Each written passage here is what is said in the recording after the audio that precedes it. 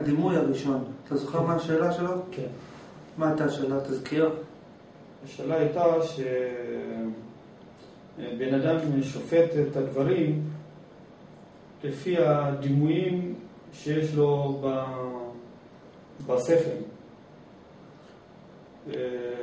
גם אוהב דברים, או שונא דברים, גם לפי דימויים, שזה חוויות של העבר. אז השאלה הייתה, ומה הדימוי של הדימוי? עד כדי מה הדימוי הראשון, שממנו מתחיל, מתחיל להתפתח. ומה אמרת שאתה הבנת בעניין הזה? שאמרת שנתת לזה הבנה? אולי הדימוי הראשון הוא, נגיד בעקבות, ה...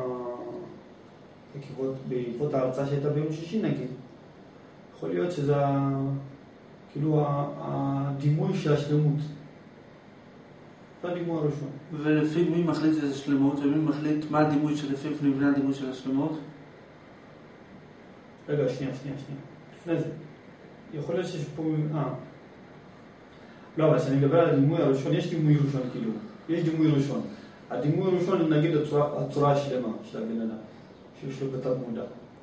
אה, כי יש לו בתת מודע, זה התירוץ, יש לו כן. פשוט בתת מודע. כן. הבנתי, אוקיי, תירוץ מעניין. לא, לפי- לא... אתה יכול להגיד, יש לו לא- מודע את כל הצורה. מה? יש לו צורה מסוימת, שלמה, והוא חושב פעם פה, פעם זה, פעם זה, פעם זה. טוב, בוא תקשיב, תסתכל. אני קודם כל אסביר לך מה שאלת. כן. אתה יודע מה זה, אומרים לך את המילה, תדמיין, תדמיין מילה בסינית, אתה מדמיין? היא אומרת לך משהו? לא, נכון? נכון. תדמיין את המילה שולחן, זה אומר לך משהו? כן. מה זה שולחן? אתה יכול להגיד לי שולחן זה שולחן? לא, זה לא אומר כלום, נכון? לי נכון. שולחן זה ותגיד לי דברים אחרים. שולחן זה עץ, בצורה מסוימת, לשימוש מסוים. ואז אני אשאל אותך, ומה זה מטבח? תספר לי עוד סיפורים. אני אשאל אותך, ומה זה בית? תספר לי עוד סיפורים. ומה זה זה? תספר לי עוד סיפורים, עוד סיפורים, עוד סיפורים, עוד סיפורים. עכשיו, אסור לך באמצע לחזור על משהו ששאלתי אותך עליו קודם. תגיד, אני שואל אותך מה זה שולחן, ואז אתה מביא לי הסבר מה זה. אז אתה אומר לי, זה... אתה משתמש במילים מסוימות כדי להסביר לי מה זה שולחן. נגיד במילה מטבח. מטבח, אוכל, בסדר? רגליים. ואז אני שואל אותך, טוב, עכשיו תסביר לי מה זה מטבח, מה זה אוכל, מה זה רגליים. עכשיו, אסור לך להשתמש במילה שולחן, ואסור לך להשתמש במילה מטבח, אוכל, רגליים. אתה צריך להביא לי מילים חדשות כדי להסביר את המושגים הקודמים. זה הגיוני לך? כן. מתישהו ייגמרו לך ההסברים. אז, אז משהו פה לא הגיוני. כי אם, אם נגמר לך הסבר, אז אתה לא באמת מבין מה זה שולחן. אז לפי מה החלטת מה זה שולחן? שולחן זה זה, וזה זה זה, וזה זה זה, וזה זה שולחן. אבל זה שולחן.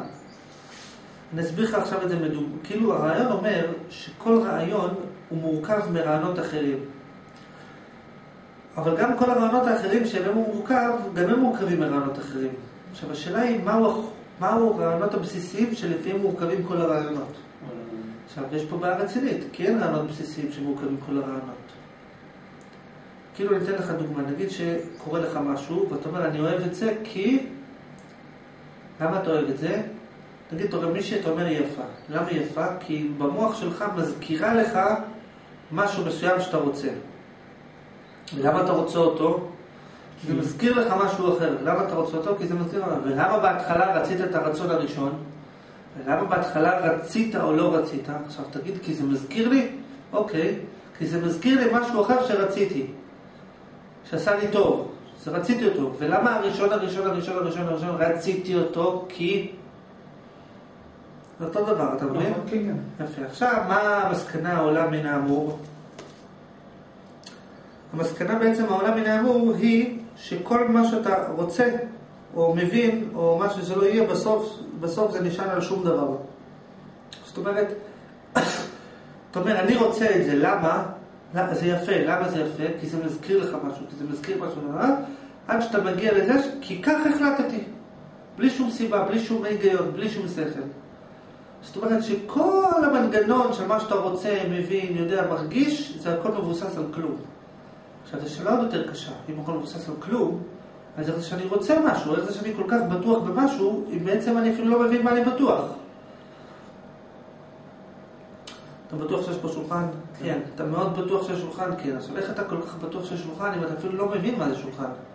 אתה לא מבין מה זה שולחן, אתה לא מבין מה זה יש, ואתה כל כך בטוח שיש פה שולחן, איך זה יכול להיות? זאת אומרת, כל הביטחון נשען על כלום.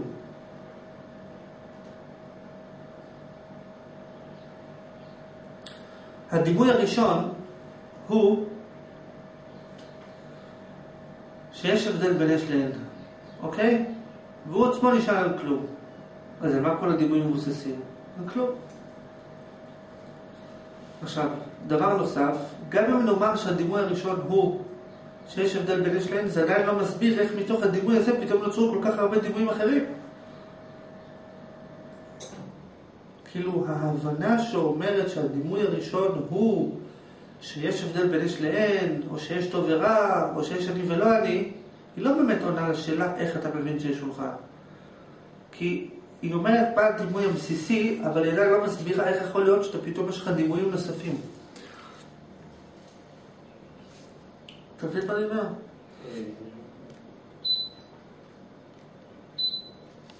לא. שנייה. אפשר לחזור, זה מפוקס. תראה, כל דבר מבוסס, בוא, בוא נגיד ניקח חומרים, נגיד שיש פה בחדר 100 צבעים. עכשיו, במה עשויים הצבעים? עכשיו אתה אומר, בוא נגיד שבאיזה צבע, הצבע הזה מבוסס על הצבע הזה וזה על הצבע הזה, חומרים, וכל חומר מבוסס על חומר אחר, עד שנגיע בסוף לשלושה חומרי יסוד, נגיד. הלאה. החומרי יסוד האלה במה הם עשויים? תצמצם אותם בחומר יסוד אחד, נגיד. נו. אבל אז איך יכול להיות שבחומר יסוד אחד נהיה כל כך הרבה חומרים? אתה אומר, לא. בתוך החומר הזה יש אין סוף אפשרויות שמהם אפשר לעשות אין סוף חומרים. אבל במה עשויות האפשרויות של החומר? מכלום. עוד פעם, אתה יכול להגיד נגיד חומרים, תגיד שכל החומרים עשויים מחומר אחד, תגיד איך מחומר אחד יש כל כך הרבה חומרים? תשובה, כי יש חומר אחד שיש בתוכו פוטנציאל אינסופי של חומרים, של תרכובות אפשריות ממהותו, ואז אתה אומר, ניקח את מהותו, נפצל אותה, ונרכיב ממנה אינסוף תרכובות. אבל אז אני אשאל אותך, האפשרויות שנמצאות בתוך החומר עצמו, ומה הן עצמם עשויות, מה מהווה, מה המהות של האפשרויות עצמם. אז אתה תגיע למקום שאפילו אפשרויות של נפרדות הן. אז אם אפילו אפשרות לנפרדות הן, אז איך יש נפרדות? כן. איך יכול להיות יש מאין? אתה מבין את הכוונה? כן. זהו. ואם אתה רוצה להבין, אם אתה רוצה להבין איך זה עובד, אז אתה צריך אצלך בראש, אם אתה רוצה להבין בדיוק איך עובד פה כל הסיפור, אתה צריך אצלך בראש לקחת דבר אחד שאתה בטוח בו, לשאול את עצמך למה אני בטוח בו, להתחיל ללכת אחורה, אחורה, אחורה, אחורה, אחורה, אחורה, אחורה, עד שאתה תראה איך ממשהו, איך מכלום נהיה משהו, ואז תדע איך זה קרה.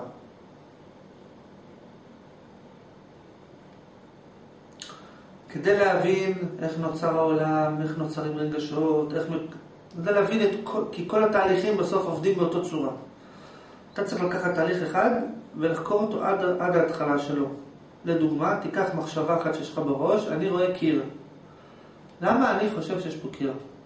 למה אני חושב... לא אין קיר. יש, אבל למה אני חושב שיש? למה? לך פנימה, פנימה, פנימה, פנימה, פנימה, פנימה, פנימה. כשתגיע להתחלה, אתה בעצם תראה איך מכלום נהיה משהו, ואז תבין איך זה קרה, ואיך זה עובד, ומה המשמעות של זה, וכולי וכולי. כן. אבל יש אפשר לשאול. כן, אפשר. אבל אם, זה באמת הרעיון, אז למה אה, אני, אנחנו עושים, דנים עם כל מיני נושאים כאלו ואחרים, כל מיני היבטים, אלא ישר על זה וזהו. נכון. חבל על הזמן. חבל על הזמן באמת. קודם כל, חבל על הזמן ביחס למה? לאיפה אתה רוצה להגיע? אתה ממהר לאיפשהו. יש לנו זמן, בוא נדבר על הרבה דברים חסרי משמעות. לא. אני אומר לך, השאלה לאיפה אתה רוצה להגיע. אם היה לך שכל יותר מהר, אז היית בבת אחת הולך לסוף. אז תלך לסוף יותר מהר. מי מונע ממך? לך לסוף תשובה, נכון, לך לסוף יותר מהר. יש עוד תשובה? ביחס למה? אם אתה מגדיר, אם אתה מגדיר שכל מה שאתה רוצה זה להגיע לסוף, אז... תראה, מבחינתי, אם היית מספיק ישר ועם עצמך, היית אומר, רגע, מי אמר שמה שהשכל שלי אומר זה נכון? ואז כבר היית בסוף. כל מה שאני מבין זה בשכל, ומי אמר שזה נכון? ואם אתה שואל את זה, אתה כבר לא יכול לדעת כלום. ולא משנה מה, כל הסיפורים שנספר, זה יותר חזק מכל הסיפורים.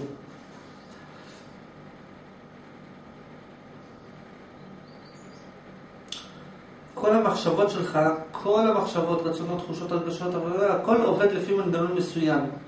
אתה יכול לשאול את עצמך, מי אמר שזה נכון? ואם אתה שאלת את זה באמת, אז אתה לא יכול לקבל שום תשובה. זאת אומרת, אם פתאום אתה אומר, מי אמר שזה נכון? כי משהו, לא הבנת. או אם אתה אומר, מי אמר שזה נכון? וואלה, זה לא נכון. גם לא הבנת. כי השאלה צריכה להיות כל כך עמוקה, שאם תשאל מי אמר שזה נכון, המנגנון יפסיק לעבוד. אתה מבין מה אני אומר? אז אם אתה רוצה. לעשות את זה, אז תעשה את זה יותר מהר. אבל אתה לא עושה את זה, אז מסבירים לך לאט לאט עד שתבין.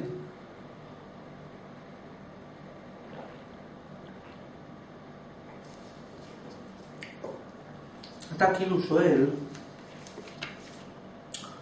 כשאתה שואל אותי שאלה, למה אנחנו מתחילים ללכת סחור סחור? למה שלא נלך ישר לסוף? נכון? כן. תשובה, לך ישר לסוף. אבל אתה לא רוצה, הנה עכשיו, למה אתה לא הולך לסוף? לך לסוף, עכשיו. אתה יודע משהו? שואל אותך, יש משהו שאתה יודע אותו? כן. מה אתה יודע? הרבה דברים. מה לדוגמה? שאני רואה. מה אתה רואה? מה אתה רואה? מה אתה רואה? נגיד. איך אתה יודע שאתה רואה? אולי אתה לא רואה? אתה מוכן לחשוב ברצינות, אתה מוכן להתייחס ברצינות לשאלה שלי? אולי אין פה תמונה. אתה יכול להבין את השאלה הזאת? להבין אותה, אתה יכול בשכל? יכול להבין אולי אין פה תמונה. אתה יכול גם לחוות אותה, להרגיש שאולי באמת אין פה תמונה, אתה יכול באמת להרגיש את זה? למה די חיצוני. מאוד באמת לשאול אולי יש פה תמונה, כמו שאתה שואל כן. אולי משהו מסוים, אתה באמת שואל אולי יש פה תמונה, במובן של אולי אין פה תמונה, אתה באמת מסוגל לחשוב שאין פה תמונה, או שאולי אין פה תמונה. יש לך יד. יש לך יד, כן. אולי אין לך יד. אתה באמת מסוגל לחשוב אולי אין יד. כרגע לא נראה לי. יפה, אז אתה לא הולך לסוף, נכון? אז בוא תמשיך ללכת בדרך לאט ונטייל. טוב, זה הבנת אותו?